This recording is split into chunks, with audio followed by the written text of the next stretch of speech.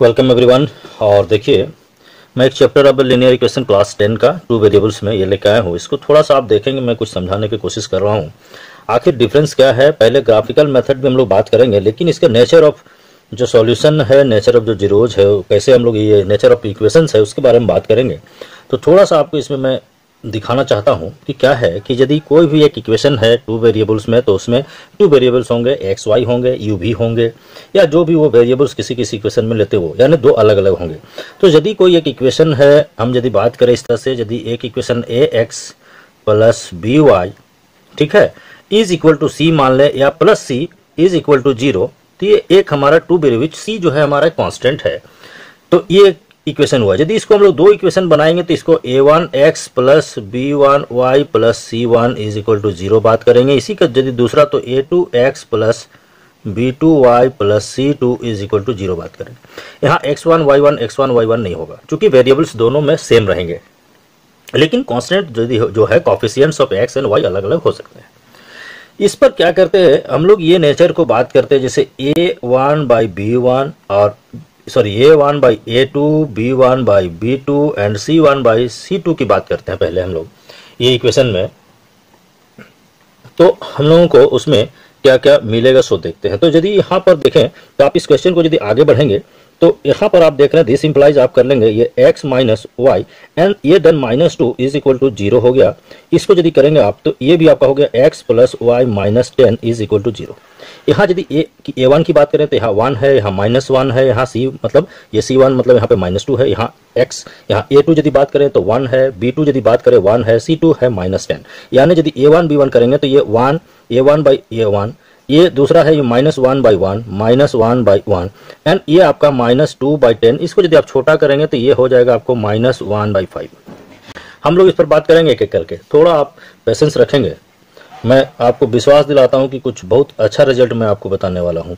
ये आपको यदि यहाँ पे करेंगे तो ये एक्स की जगह पे यहाँ पे इसको आप करेंगे x minus two y minus two is equal to zero इसको यदि करेंगे two x minus four y minus four is equal to zero. यदि यहाँ पर बात करें तो यहाँ वन है, यहाँ टू है। ये आपको वन बाई टू हो गया। यहाँ पे ये minus two and minus four है। माइनस टू और माइनस फोर, इसको यदि छोटा करेंगे सिंपलेस्ट फॉर्म में बात करेंगे। ये हो गया आपका minus one by minus four, यानी one by four sorry one by two हो गया, माइनस माइनस कैंसिल हो गया, वन बाई टू हो गया यहाँ पे। और यदि सी की बात करें माइनस टू बाई फिर माइनस फोर। ये भी आपका minus two by minus four है, यानी इसको यदि करेंगे तो ये भी वन बाई टू है। ये हो गया आपका अब यदि बात करें इस पे तो इसको यदि आप करेंगे तो ये आपको हो गया x minus three y minus five is equal to zero इसको यदि आप करेंगे, ये हो गया five x minus fifteen y minus three is equal to zero यहाँ पर यदि बात करें तो ये वन बाई फाइव ये हो गया माइनस थ्री बाई फिफ्टीन सीधे सीधे वन बाई फाइव हो गया। और ये minus five by minus three that is five by three इस रिलेशन को यदि हम देखते हैं तो हमको क्या मिलेगा? देखिए, ये ये आपस में इक्वल नहीं है। और यहाँ पे आपस में कोई इक्वल नहीं यानी तीनों यानी a one by a two not equal to b one by b two not equal to c one by c two एक वहाँ पे है यहाँ पे यदि देखेंगे देखिए ये वन बाई टू है ये भी वन बाई टू ये बाई वन बाई टू यानी a one by a two is equal to b one by b two is equal to c one by c two है यहाँ पे इसकी यदि बात करें यहाँ हम देख रहे हैं ये और ये इक्वल है यानी a one by a two is equal to b one by b two and not equal to c one by c two ये हो गया। इससे आपको क्या फ़ायदा हुआ? इतना से आप ये जान सकते हैं यहाँ पे कि किन किन के सोल्यूशन मतलब किसमें आप एक्स और वाई का वैल्यू निकल सकता है किसमें नहीं निकल सकता है। इसलिए यहाँ पर देख लीजिए, इसमें यदि है आप फ़र्स्ट की यदि हम बात करें तो वहाँ पर क्या होगा? आप जो देख रहे हैं यहाँ पर a one by a two not equal to b one by b two and not equal to c one by c two तो इसमें कंडीशन देखिए यहाँ पे। और इसको यदि आप कंपेयर करेंगे तो देख रहे हैं यहाँ पे ये तीनों आपस में इक्वल नहीं, यहाँ पे ये और ये इक्वल है, यहाँ भी, यहाँ इक्वल है। और ये थर्ड जो है सो यहाँ इक्वल है, यहाँ पे नहीं है। तो ये जो कंडीशन है, जो शुरू में ही यदि ये दोनों इक्वल नहीं है a one by a two not equal to b one by b two that means ये क्या हो गया? इसका यूनिक सोल्यूशन निकलेगा। मतलब एक्स और वाई का सिंगल सिंगल वैल्यू निकलेगा। यूनिक सोल्यूशन बोलते हैं। या सिंगल सोल्यूशन है उसका। इसकी यदि बात करें, देखिए a one by a two is equal to b one by b two is equal to c one by c two मतलब आपस में ये तीनों है। देखिए, यहाँ पे दो ही में हमारा काम चल जाएगा, इसकी ज़रूरत नहीं है इसमें, क्योंकि यहाँ पे नॉट इक्वल हो गया। जब ये दोनों इक्वल हो गया, तब हम थर्ड की भी बात करेंगे। थर्ड में देखिए, इसमें इक्वल है, इसमें नहीं है। तो यदि इसमें इक्वल है मतलब a one by a two b one by b two is equal to c one by c two तब क्या होगा? इस स्थिति में यहाँ इनफाइनाइट सोल्यूशन होगा मतलब बहुत सोल्यूशन हो गए एक्स और वाई का बहुत सारे वैल्यूज़ होंगे, जो दोनों इक्वेशन को सेटिस्फाई करेंगे। थर्ड की यदि बात करें हम a one by a two is equal to b one by b two but not equal to c one by c two मतलब कांस्टेंट का रेशियो कि ये बराबर नहीं है। इस स्थिति में क्या होगा? नो सॉल्यूशन इसका कोई सॉल्यूशन नहीं निकलेगा। इसका एक्स और वाई का वैल्यू आप नहीं निकाल पाएँगे। कोई ऐसा वैल्यूज़ एक्स एंड वाई का नहीं होगा, जो कि दोनों इक्वेशन को सेटिस्फाई करेंगे।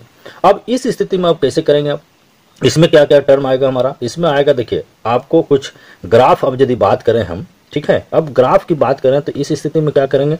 यदि इसका यदि आप ग्राफ प्लॉट करेंगे, तब चूँकि यूनिक सॉल्यूशन है, इसलिए यदि एक्स और वाई एक्सिस की आप बात करेंगे ना तो ये दोनों जो ग्राफ आप खींचेंगे, ये कोई एक पॉइंट पर इंटरसेक्ट करेगा सिंगल पॉइंट पर यह इंटरसेक्ट करेगा।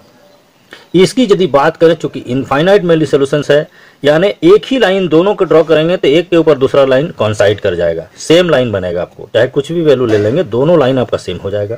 और इसकी यदि बात करें, चूँकि नो सोल्यूशन की बात करें, तब ये जो लाइन हमारा आपको ड्रॉ करेंगे ना ग्राफ ये पैरल जाएगा। आपस में कहीं पर भी इंटरसेक्ट नहीं करेगा। तो नेचर ऑफ़ ग्राफ भी इसमें आप समझ लेंगे।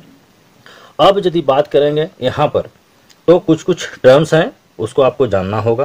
कंसिस्टेंट और इनकंसिस्टेंट कंसिस्टेंट कहने का मतलब यदि यहाँ पे, देखिए, यहाँ पे क्या होगा कि यदि दोनों में मतलब ये जैसे एक पेयर ऑफ़ इक्वेशन बनता है, एक पेयर ऑफ़ इक्वेशन बनता है, एक पेयर ऑफ़ इक्वेशन बनता है तो एक पेयर ऑफ़ इक्वेशन यदि है, ये पेयर ऑफ़ इक्वेशन को हम कहेंगे कि ये कंसिस्टेंट है जब उन दोनों में कम से कम एक सोल्यूशन यानी या तो ये यूनिक सोल्यूशन वाला रहेगा, या फिर आपका इनफाइनाइट मेनली सोल्यूशन तो इस तरह के जो इक्वेशन होंगे, तब हम कहेंगे ये कंसिस्टेंट है।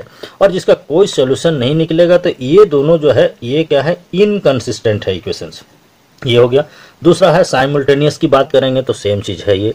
ये दोनों जैसे जो इक्वेशन है, जिसमें आपको क्या, या तो यूनिक सोल्यूशन निकलेगा, या फिर इनफाइनाइट मेनली सोल्यूशन निकलेगा तो उस स्थिति में कहेंगे कि ये पेयर जो है, ये पेयर और ये पेयर आपस में। ये और ये नहीं, ये पेयर आपस में और ये पेयर आपस में क्या कर रहे हैं? साइमल्टेनियस पेयर ऑफ़ सिस्टम कहलाता है। तो ये जो है मेरा बताने का ये कारण था कि आप इसको देख के जानेंगे। अब रही बात इसका तो देखेंगे हम लोग जब आप ग्राफ प्लॉट करेंगे तो एक एक करके देखेंगे। ये बेसिक फंडामेंटल्स मेरा बताने का यही कारण था कि आप इसको देख के जान सकते हैं। इसके बाद हम लोग क्वेश्चन पर चलेंगे। Thank you so much